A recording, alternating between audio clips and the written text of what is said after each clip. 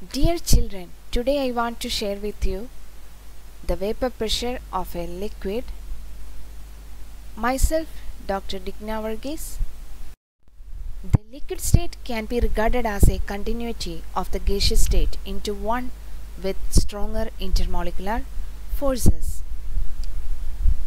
Consider a picture in that the molecules of liquid state. The molecules are rather close together. And there is very little empty space between these molecules. So there are strong intermolecular attractive force between the molecules. Therefore it have a definite volume and it is difficult to compress when compared to gases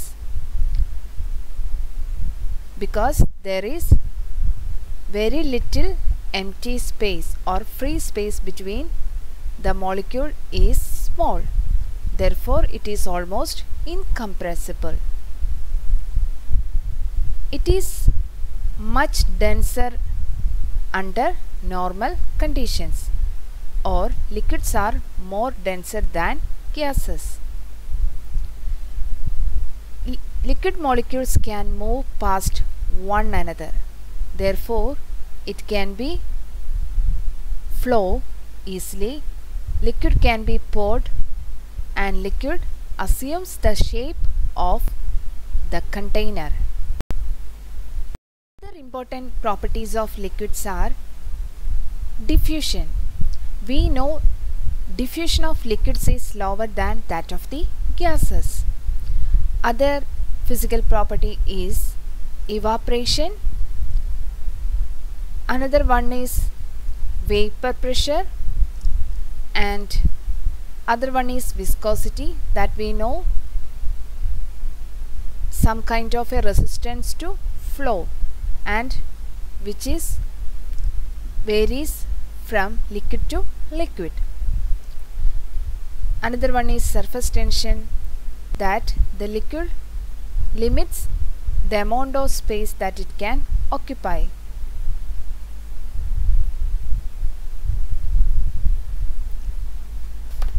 In this chapter we discuss three of the properties of liquids namely vapor pressure, surface tension and viscosity. Okay, now we are discussing the vapor pressure in detail. Before that we have to understand what is evaporation. When a liquid such as spirit taken in a open vessel, the molecule of spirit gradually escapes from the liquid state to the gaseous phase. After some time, it will disappear completely and the open vessel becomes empty. This is actually known as evaporation.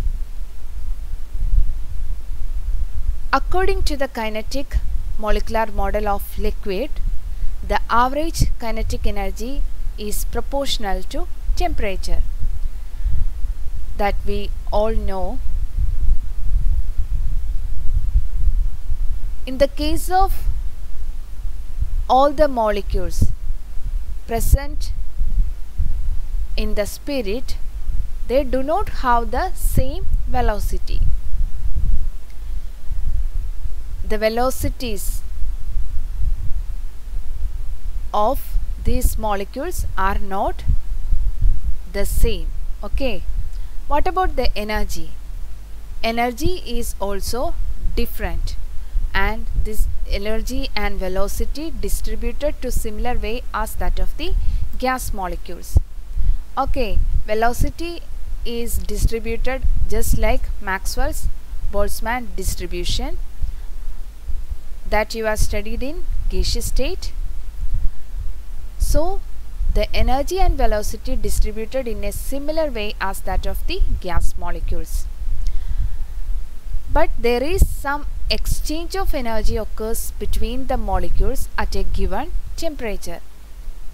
Okay, there is some exchange of energy occurs between the molecules. In some case, some molecules get higher energy than the average energy value. So, the molecules with high energy at the surface would overcome the intermolecular force of attraction between the neighboring molecules and this particular molecule with high energy escape from the liquid state to the gaseous state or vapor state. This is the reason for evaporation of the liquid. The evaporation tendency varies from liquid to liquid. If it is a water, evaporation is different from spirit. If it is a petrol, evaporation is different from spirit and so on. So evaporation is a property that varies from liquid to liquid. Do you know children what are the factors affecting evaporation? Yes. First one is the nature of the liquid. And extent of evaporation depends on two factors. First one is the magnitude of cohesive force. What is cohesive force? Cohesion or cohesive attraction or cohesive force is a the action or property of like molecules sticking together and being mutually attractive. That is water molecules, water water attractive force that the molecules are sticking together and being mutually attractive through intermolecular hydrogen bonding. And the next factor is intermolecular attraction. So, every liquid has these two properties that determines the extent of evaporation. Next factor affecting evaporation is surface area. Rate of evaporation is a function of surface area. Consider two vessels that is open. In that some petrol is taken. One is a large open vessel and one is somewhat smaller open vessel.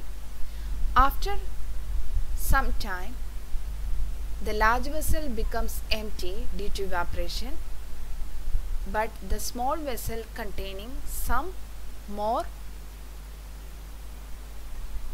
liquid for evaporation. This means that rate of evaporation is a function of surface area. That is, since evaporation takes place from surface, if large surface area is there, the evaporation is faster. Next factor affecting evaporation is temperature. Rate of evaporation increases with increase in temperature. Consider a vessel containing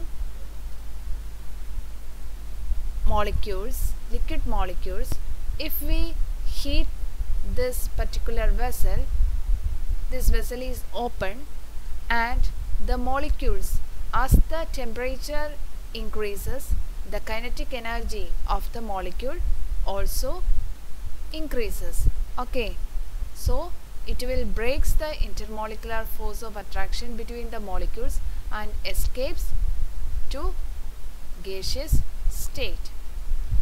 So rate of evaporation increases with temperature. As the temperature increases the rate of evaporation also increases. And finally the vessel is empty due to now we are moving to the topic vapor pressure. Consider evaporation of liquid in an open container. Here surface shows with a gray line and molecules show with a gray circles. We know there are three factors affecting evaporation that is the nature of the liquid. In that there is some attractive force that is intermolecular force of attraction occurs between the molecules and there is some cohesive attractive force. And the second factor is surface area and the third one is temperature. If temperature increases the kinetic energy of the molecules also increases. So if energy increases there is some energy exchange occurs or velocity also increases.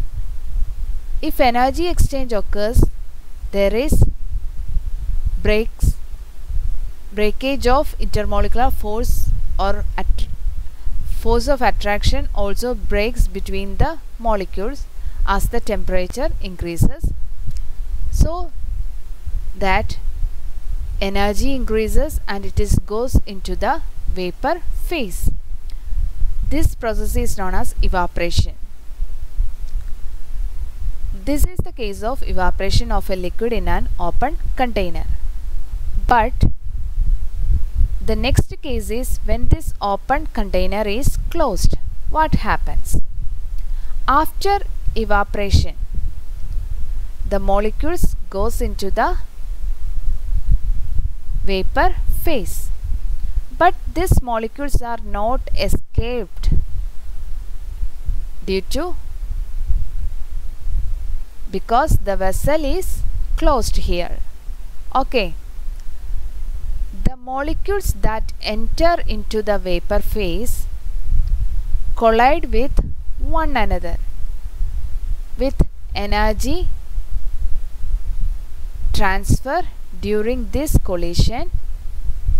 The collision occurs due to its random motion after collision some molecules get energy some molecule lost energy okay the molecules with lower energy tend to return to the liquid phase. This process is known as condensation. That is just reverse of the evaporation. Ultimately, the number of molecules returning to the liquid and the number of molecules escaping from the liquid to the vapor phase become equal at which point there is a dynamic equilibrium occurs. Okay children? At this stage that means a dynamic equilibrium stage rate of vaporization becomes equal to the rate of condensation.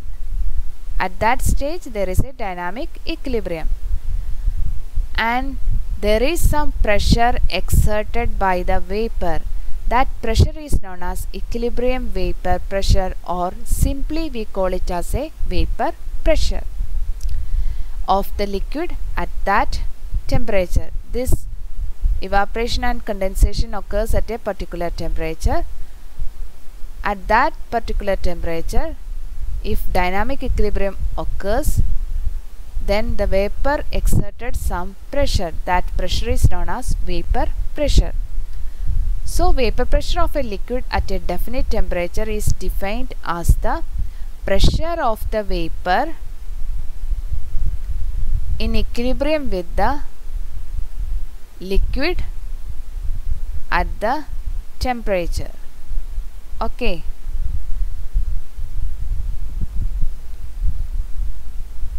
Once again I will tell you the definition of vapor pressure. Vapor pressure of a liquid at a definite temperature is defined as the pressure of vapor is in equilibrium with the pressure of liquid at that temperature Vapor pressure depends on magnitude of the intermolecular force of attraction and also it depends on the temperature. Vapor pressure depends on intermolecular forces. Smaller the intermolecular forces present in a liquid, higher the vapor pressure. Consider a liquid which contain large number of molecules between these molecules there exists only weak intermolecular force. At a particular temperature, the molecules get some energy and it will breaks this weak intermolecular force of attraction easily and the molecules can go to the vapor phase more easier than the molecules with high intermolecular force of attraction. Okay, so if the molecules in the liquid state have smaller intermolecular force of attraction or weak force of attraction between them that will have high vapor pressure. So the rate at which the molecules escape will thus be high. Okay. Such liquids are known as volatile. Volatile liquids. Let us consider three liquids that is water, other one is ethanol and another is diethyl ether. In water, there is extensive association through intermolecular hydrogen bonding. In ethanol, there is also intermolecular hydrogen bonding. Hydrogen bond is a bond between the most electronegative element and the hydrogen. Okay, here the electronegative element is oxygen and and forms a intermolecular hydrogen bond and here also in the case of ethanol there is intermolecular hydrogen bond but it is not very strong intermolecular hydrogen bond like water. In the case of diethyl ether, there is no such hydrogen bonding occurs. So, in short, the intermolecular forces decreases in the order water greater than ethanol greater than diethyl ether. We know smaller the intermolecular force, vapor pressure is high. Okay. So the order of vapor pressure is water less than ethanol less than diethyl ether. Dependence of vapor pressure on temperature.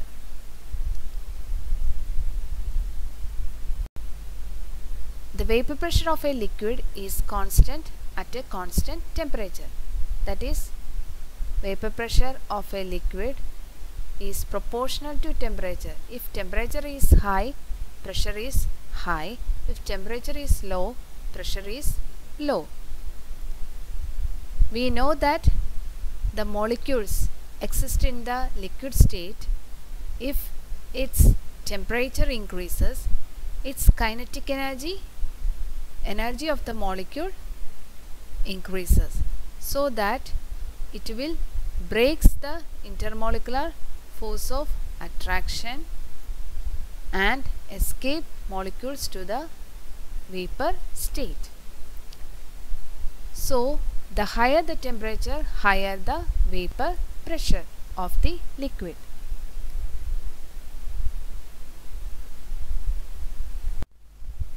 Therefore, once again tell you kinetic energy is higher at higher temperature. At a higher temperature, higher is the vapor pressure of a liquid. Therefore, vapor pressure at a given temperature increases in the order. We know diethyl ether has no intermolecular force of attraction. If temperature increases, already it's there exists a weaker intermolecular forces. So, it will easier to break and escape from the liquid phase to vapor phase. But if temperature is high, its energy is also high so it will again easier to break the intermolecular force of attraction already it is weaker and it is faster to move to the vapor phase so diethyl ether at a given temperature vapor pressure increases than ethanol than water. Variation of vapor pressure with the temperature. Children, we, you can see various liquids and its vapor pressure and different temperature. For we consider water only if water we are taking here 273 Kelvin 308 Kelvin 351 Kelvin and at 373 Kelvin that is 100 degrees Celsius the water boils.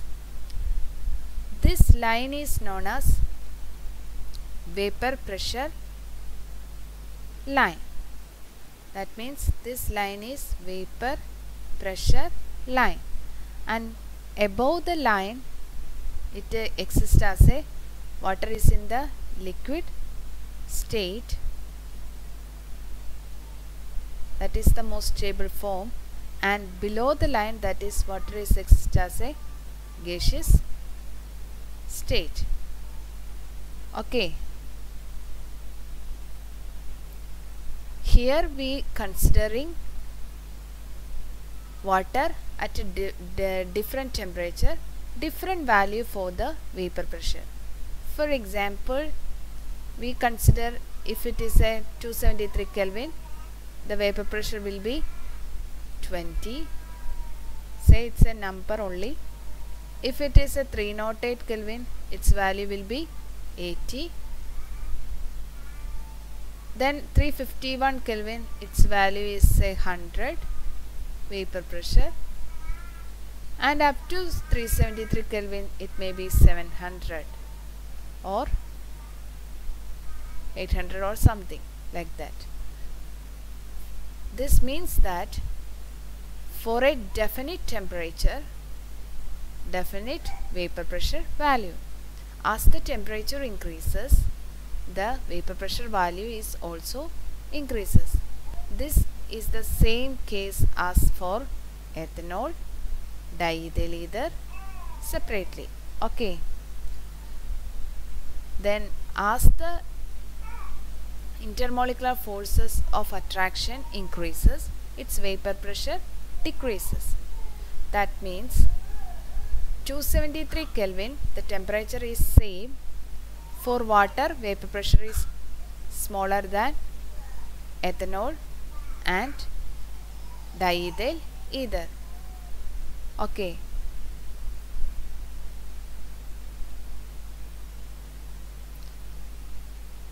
Boiling point. Vapor pressure of a liquid is equal to its atmospheric pressure. Boiling point is the temperature at which we know the water's boiling point is 100 degrees Celsius. So the temperature at which the vapor pressure of a liquid is equal to the atmospheric pressure is known as its boiling point. Children, what is a normal boiling point? Normal boiling point is the temperature at which the vapor pressure of a liquid becomes equal to its 1 atmospheric pressure.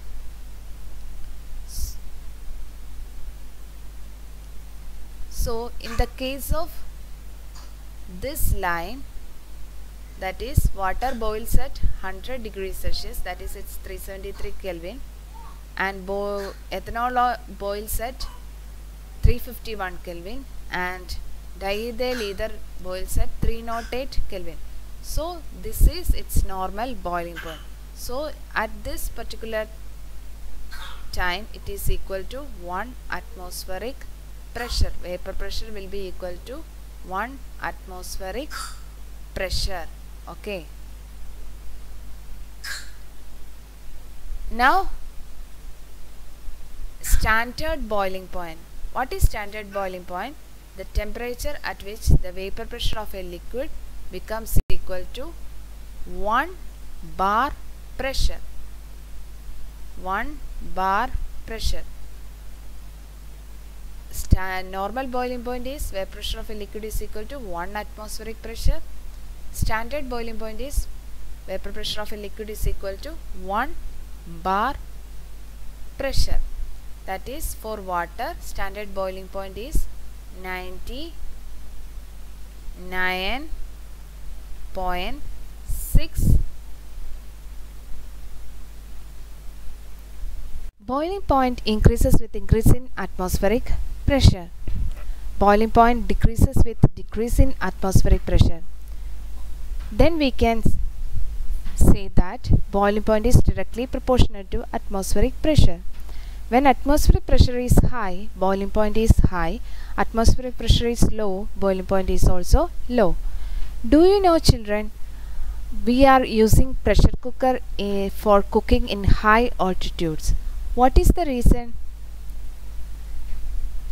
In high altitudes the pressure of the air is low. Therefore boiling point of liquid is also low. That means the liquid evaporates fast leading to the delay in food cooking. Because at higher altitudes the air pressure is comparatively low and boiling point is also low because boiling point is directly proportional to atmospheric pressure. So liquid boils faster but food cooking delays so it is advisable to use pressure cooker at higher altitudes to maintain the boiling point as it exerts more pressure and food can be cooked easily and fast.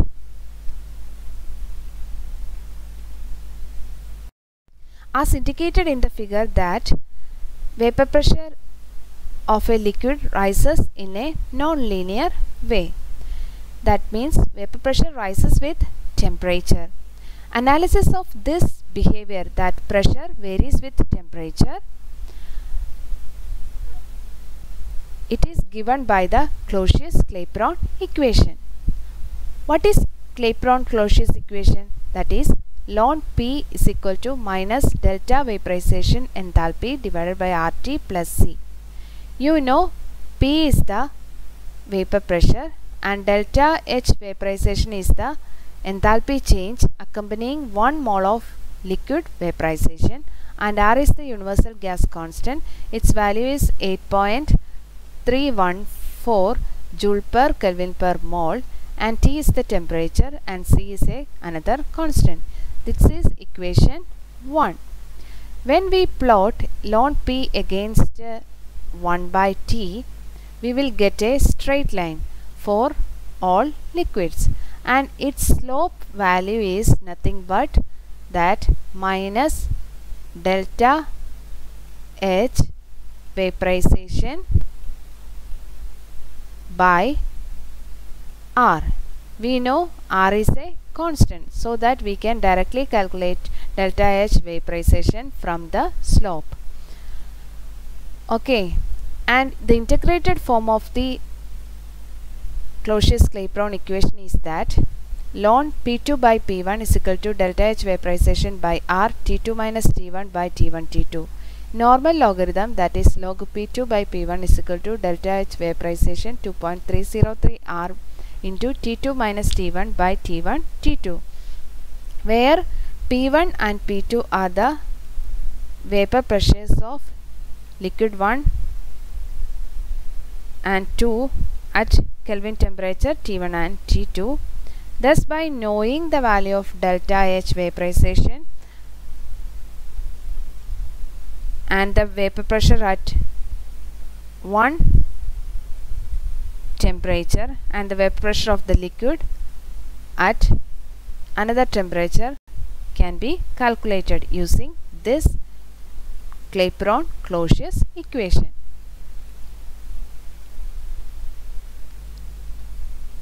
Thank you.